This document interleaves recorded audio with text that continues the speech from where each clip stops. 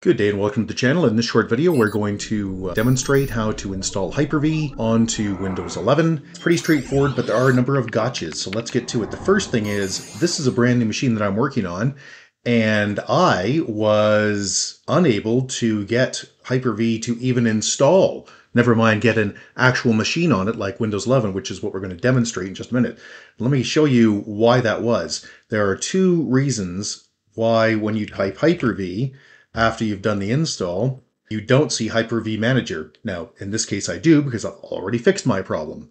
If you don't see Hyper-V Manager, you've got one of two issues. One, the hardware doesn't support it. So you've got to go into your BIOS and you've got to enable virtualization. Now, probably enabled by default, but maybe not. So go into the BIOS. If you don't know what I'm talking about, you power the computer down completely. You power it back up and you press either F2 or escape depending on your machine.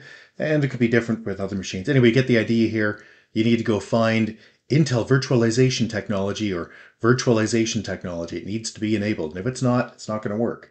The second thing you need to make sure is that you're running the right version of uh, Windows. So this is a brand new computer. I don't pay much attention to the version of Windows that I've got because I'm a Microsoft partner and I always just upgrade it.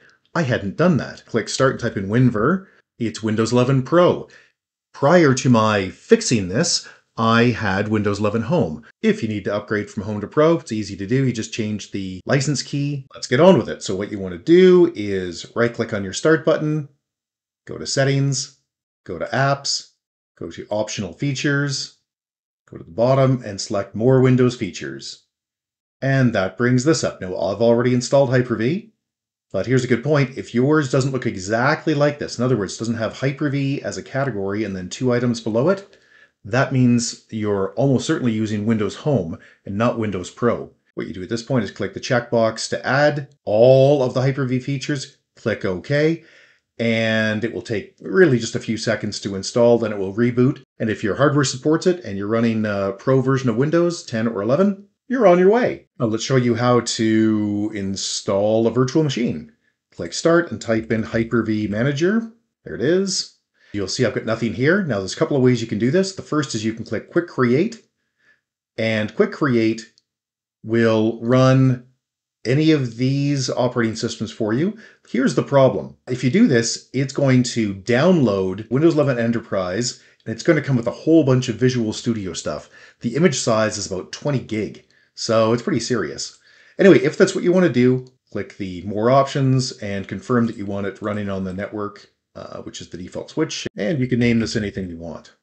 Okay, I don't want to do that. We're going to go through the more traditional way to create a machine. Click New over here, New Virtual Machine, and we'll roll through this quickly because, again, it's not very challenging. Uh, click Next, call it whatever you'd like. VM1, where do you want to store the configuration files, the metadata? Eh, it's fine in that location. We'll click Next. Always choose Generation 2. Uh, Generation 1 has limitations that you don't want to deal with. Uh, unless you really have to. You're running, you know, Server 2008 or Windows 7 or something. Okay, let's click Next. Startup memory. Now my machine has 16 gig of RAM, so 4 gig is fine. If you're limited on memory, set that down to 2048. Use dynamic memory should be used, should be checked on, and it is by default. And what that does is allow the amount of memory to float depending on what the virtual machine wants to do. But it will not overwhelm your physical machine. So anyway, I'm going to leave it like that. Click Next. Uh, yes, I would like this connected to the default switch. The default switch is connected to the internet, by the way. If you don't really understand that, don't worry about it. It'll make sense as soon as we get through this. Create a virtual disk. Uh, what would you like to call it? Well, I'm going to call it Windows 11 VM1. VHDX is Microsoft's uh, proprietary format. The X just means it's the latest generation. And how large would you like it to be? Well, I would like it to be 127 gig because it's going to be dynamic. See, dynamically expanding, what that means is that it's going to start out with just the bare minimum. So it'll probably be something like, oh, five or six gig to start with. And it will expand as needed up to 127 gig. So that's good for me. And this location is also just fine for me. I'm going to click next. Installation options. Where are you going to get the operating system from? Well, go to your browser and type in download Windows 11, and you will get the Windows Media Creation tool, which you don't actually need. There's a better way to go, which I'll show you here. So click there, and that will take you to the installation assistant, which lets you install it on this machine, not what you want. Creating installation media, that can create an ISO, but why bother?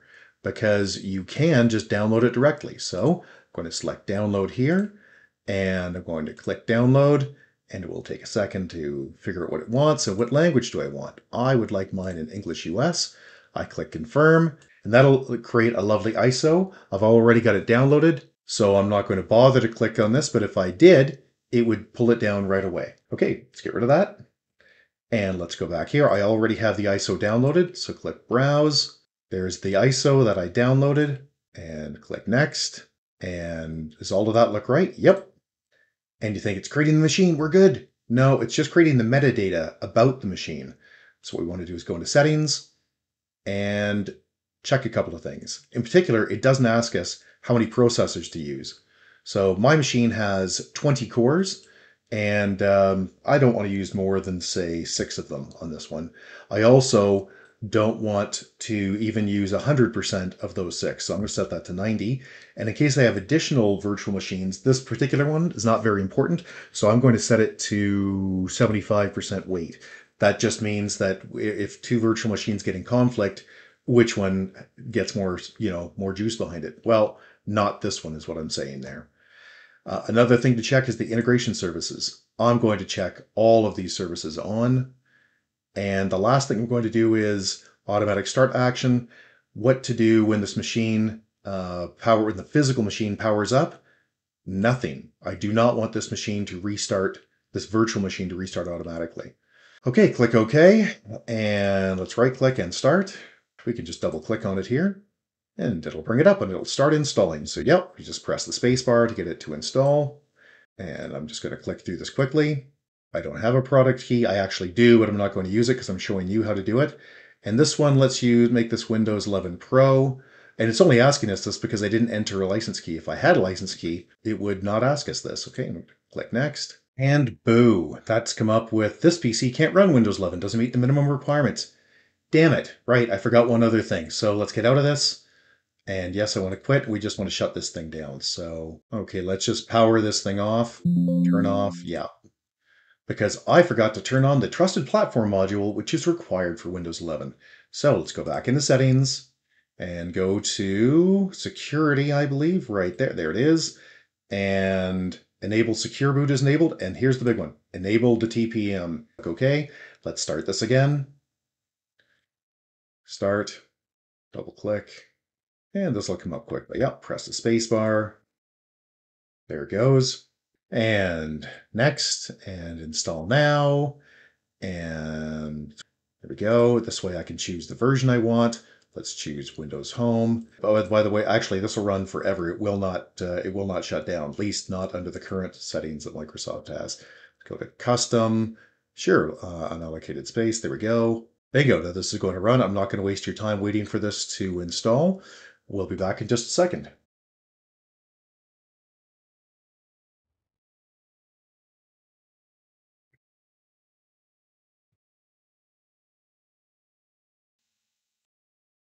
Another oddity, sometimes when you change resolution, this happens.